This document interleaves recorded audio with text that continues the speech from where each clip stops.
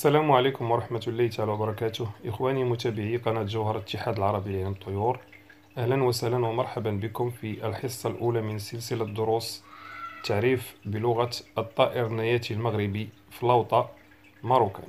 اليوم الإخوان في هذه الحصة غادي نتعرفوا على الأغرودة الأولى آه، من الخانات واللي هي التبيت بالردة أو التبيت. غادي نتعرفوا على الأصل ديالها في الطبيعة شكون الطائر اللي تيأديها مخارج الحروف ديالها. في البداية نسمعوا الاوروده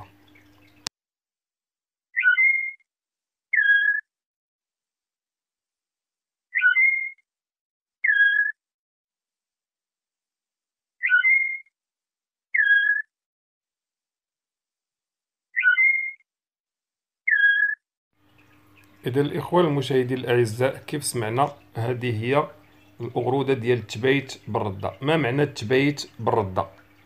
كيف سمعنا الأغرودة كتكون من جوج ديال التغاريد مركبة؟ التبييتة الأولى أو الأغرودة الأولى اللي كيف سمعنا على مخارج الحروف تغي هذا اسم عطاوه الناس ديال المواليع ديال الفلوطة القدامى ولكن آه يعني ما كنسمعوش داك داك داك الاسم اللي عطاونا اللي هو تغا. عكس ما كنسمعو قعي. فالأغرودة في الأصل هي مخارج الحروف قعي وتعود في الأصل لطائر القوبع أو القبرة. هي اللي كتجيب لنا تعدد ديال بقعي قعي ولا كعي يعني التبييتة الأولى فهي في الأصل ديال طائر القوبع. غادي نسمعوا الأصل ديالها كيفاش كتجيبها القوبع.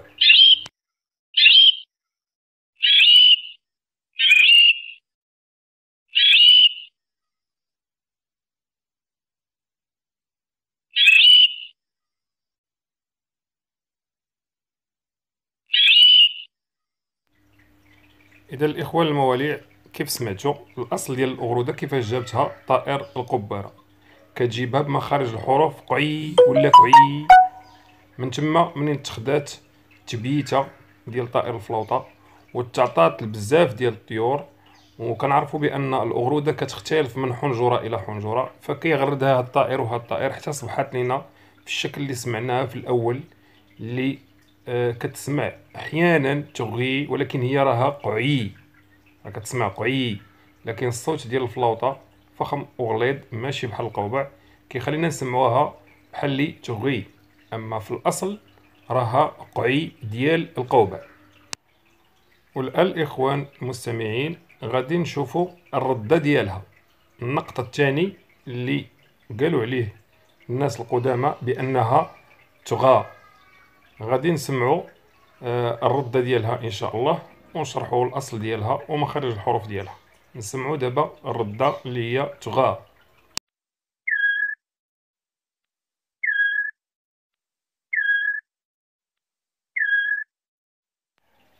فإخواني المتابعين كيف سمعتوا الردة ديال آه، النقطة الثاني ديال الأغرودة اللي هي تبيت بالردة.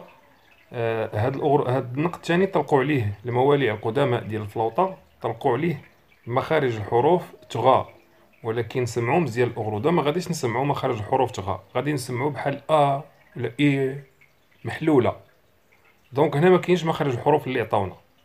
فكيختلف يعني السمع من مولوع لمولوع. إلا جينا للحقيقة ديال هاد الاغروده النقطه الثاني فهو كيتعتبر تبيته ديال الحسنية في الأصل.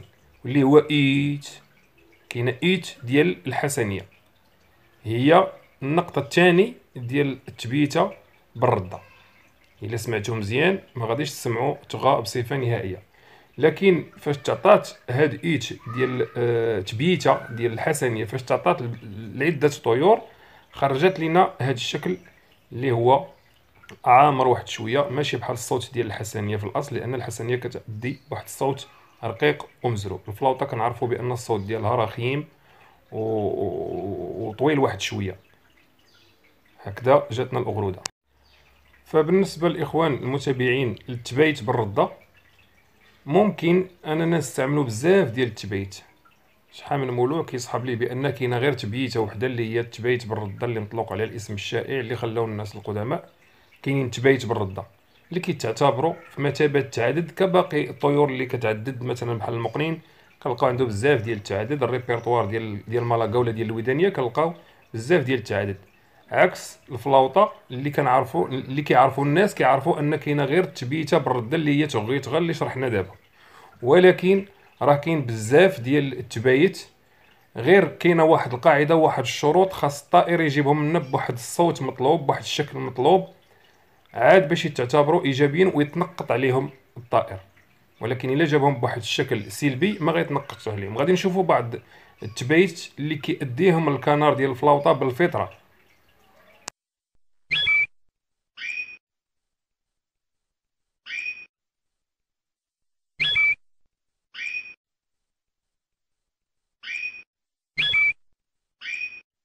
فالإخوان كيف سمعتوا واحد الأنواع ديال التبايت اللي ما كيعرفهمش بزاف ديال المواليع ديال الفلاوطه وممكن كيضيعوا فيهم الطائر لأنهم كيعرفوا غير تبيت بالردة اللي هي تغي تغا. ولكن راه الطائر عنده بزاف ديال التبايت اللي هما نقدروا نقولوا بالفطرة آه نقدروا نقولوا يعني كاين بعض الطيور اللي كتمتاز بهاد بهاد النوع من من, من التبايت هي كتجيبهم. واخا ما تحفظوش بحال الطويرات ديالنا دابا حنايا كيجيبوا هاد النوع من التبايت ما تحفظها ليه ما حتى شي حاجة. كيجيب هاد التبييته هادي. فالإخوان آه كاين واحد الشرط. ماشي أي تبييته يجيبها الطائر كتعتبر إيجابية. لا بالنسبة لطائر الفلوطة فهو عنده واحد الخامة صوتية ونبرة صوتية خاصة به ما يمكنش يقلدها شي طائر واحد آخر. كنعرفوا بأن كل طائر عنده نبرة صوتية ديالو. إلا تكلمنا على المالينوا فهو كيتكلم بنبرة صوتية مائية. إلا تكلمنا على الهارز فهو كيتكلم نازال آه كيتكلم يعني هابط شوية حادر. إلا تكلمنا على الفلاوطة فهو كيتكلم نياتي. فحتى التبايت ديالو خصنا نسمعوه بصوت نياتي. كيف سمعنا في هاد التبايت دابا اللي هما كيتعتبروا قدام شوية هذا هو الصوت ديال الفلاوطة باش خصهم يجيو. فكيف قلنا الإخوان آه ممكن الطائر يجيب بحال هاد التبايت ولكن شرط أنهم يجيبهم يعني بصوت نياتي. كأن الطائر كيأدي فواحد آه فواحد القصبة ما كيغنيش باللوبيك ديالو. يعني خصنا نسمعوهم بصوت نياتي شبيه بالناي. عاد كيتعتبروا إيجابيين لأن مثل هذا التبايت ممكن أنهم يجيبهم الكنار العادي ممكن يجيبهم المالينوا ولكن كل طائر غيجيبهم بالحنجرة ديالو. فاذا جابهم الفلاوطة وتعتبروا إيجابيين خصهم يكونوا نياتيين كيف سمعناهم دابا في هذا في هذا التسجيل هذا. إلا ما كانوش في هذا الصوت هذا فهما غيتعتبروا سلبيين بالنسبة للريبرتوار ديال الفلاوطة. بالنسبة الاخوان التبايت بالردة فهما كيشوفوا من بعض المواضيع انهم عاديه الطائر يجيب تغا ولكن راهم ماشي عاديين. علاش؟ لأنهم كيتعتبروا من التغاريد المركبة. دابا نهضروا إن شاء الله في درس واحد آخر على المفهوم ديال التغاريد المركبة. غلطين فيهم كذلك بزاف ديال الإخوان. آه غادي نشرحوا إن شاء الله في درس واحد آخر. كذلك بالنسبة للتبيت بالرده فكيتعتبروا من التغاريد المركبة لأن الطائر كيجيب لنا واحد جوج تغاريد مختلفة. وحدة ما كتشبه الوحدة ولكن غاديين في نفس الإيقاع. فهذه كتعتبر أغرودة مركبة من جوج ديال التغاريد اللي هي قعي إيت يعني جوج ديال التغاريد مختلفة. هكذا كيتأدى وهنا الإخوان غادي نتكلموا على أحسن تبييتة بالردة مركبة هاد الأغرودة. ولكن يعني كيف تنقولوا بالدارجة زايدا غيزة شوية على التغاريد الأخرين اللي ذكرنا في الأول. فإلا جاب لنا أغرودة ديال قعي أو تغي فراه خصو خصو يتنقط عليها.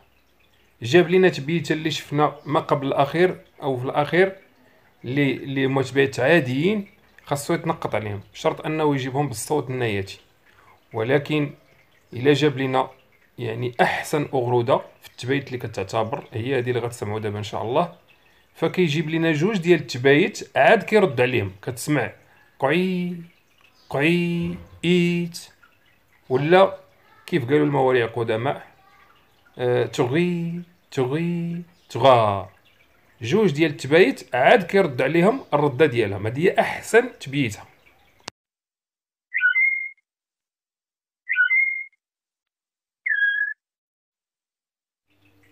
إذا الإخوان كيف سمعنا هاد التبييته بالردة كتعتبر من أجمل تبايت بالردة. من أجمل تبايت هي هذه. علاش؟ لأنها كتكون لنا من ثلاثة ديال التغاريد مركبة. جوج الأولين تبيت الأولين بحال بحال وكيرد عليهم تغا كنسمعوا قعي قعي إيت ولا تغي تغي تغا يعني هكا كنسمعوا جوج ديال التبيتات عاد كيرد عليهم. إلا جاب الطائر بهذا الشكل فبصراحة خاصو يتنقط عليها أعلى نقطة. الان الاخوان غادي نسمعوا تبيت بالردة يعني على المباشر الطويرات ديال هذا العام كيفاش جابوهم.